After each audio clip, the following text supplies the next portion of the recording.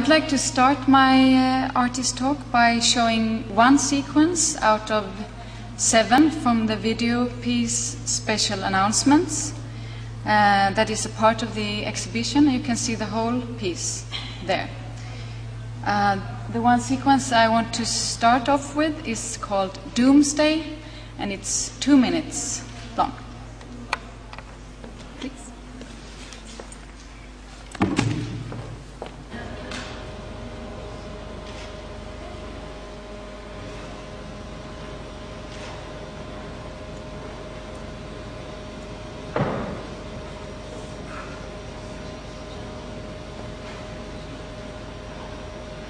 Solitary, using my own body, uh, directing myself, writing the scripts myself, and I am the actor performing them.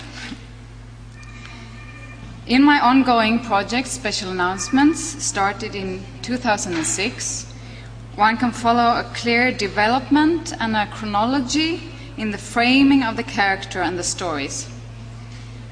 The building of a character is a time consuming work and can, in my case, go on for years.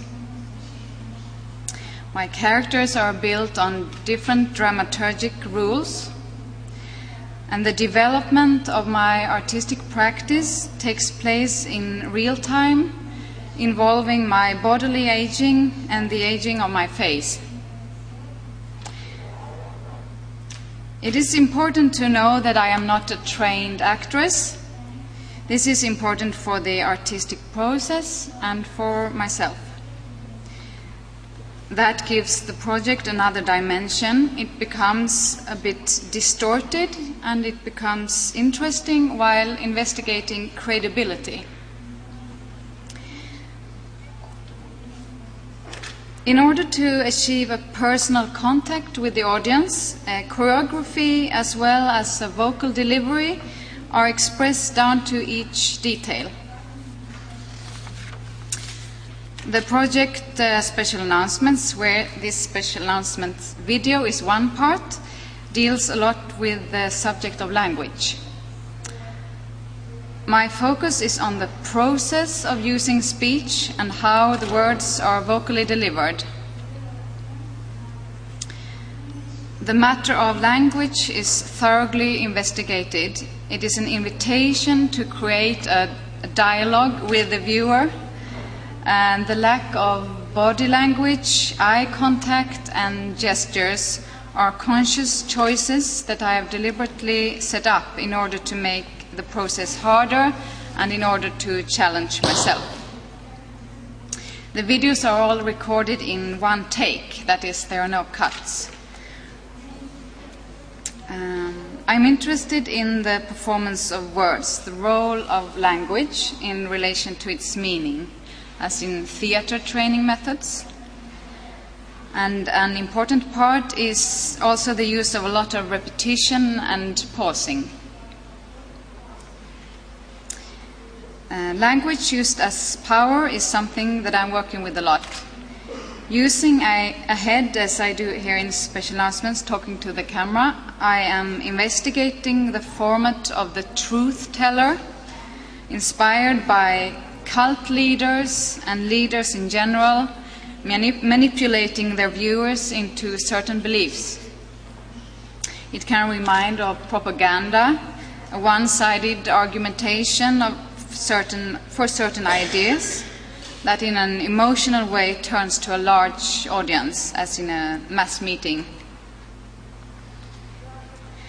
I am inspired by existential questions and recent events concerning cult, political, and religious leaders and the roots of madness of mankind in general. My narrative develops in relation to mankind's stupidity and evil. In all of my art practice, the mission is to directly or indirectly to question authorities and the shaping of power. This I have done in different ways over the last 10 years. I have a background in photography, and before special announcements started, I have been working on another project, which I briefly have to mention here, called Dana Aid, where I use myself as the character of a doctor slash nurse. This project consists of photographic series, videos, and live performance. And it was here the interest of using a power symbolic person began. The stylized character of this doctor nurse person has nothing to do with healthcare, but nonetheless, in her capacity of a self advertised doctor, she has gained authority and trust and is a position to use this advantage. Uh, the doctor figure is a socially extrovert character, a moral guardian in contact with the with the social conditions in general, while the character in Special Announcements is an esoteric, introvert character in contact with her soul. I see these two personas as part of the same body.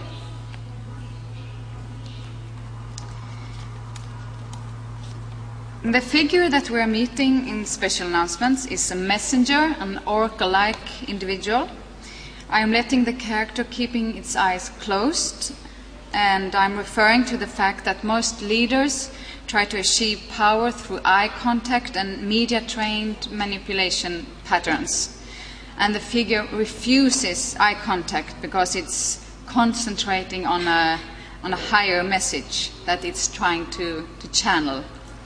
And it does not want to, uh, to see what the, this, our world is up to. Uh, my examination of character is reminiscent of character buildings in novels and other narratives. I never sample material, manipulate, or use existing image or text, at least as far as I'm aware of. and uh, using myself is a way to ensure uniqueness. Uh, if you work with language, you deal with a social material. I believe that a poetic way of thinking is a necessity for political thinking. It does not replace politics, but it can be used to shake common beliefs. Language is so connected to what we think and feel, and it's difficult to become aware of how transitional it is and how much it changes from day to day, from context to context. Therefore, it's interesting to follow my artistic work in different countries with different histories. Even if the content may be relatively mundane, the accent still relates to topical questions in different contexts.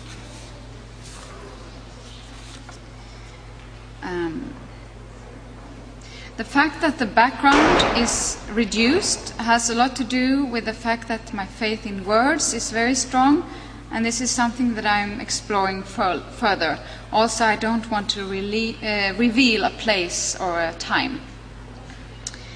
Uh, I want to create a sort of a vacuum in the films for a couple of minutes at least, and been able to take this feeling using the absurdity of it being so concentrated and serious. Um, the character is a person who cannot be reached and the figure is placed in an empty hole, a no space, an in between space, encapsul encapsulated. Um, I want to create a speaking photograph using the video camera as if it is a still camera with sound. And uh, I like that my work is not that easily defined. It crosses the barrier between being photography, video, performance, theater, poetry. And here is the last sequence out of the seven, which I wanted to get some help by showing. It's called Solitude, and it's also two minutes long.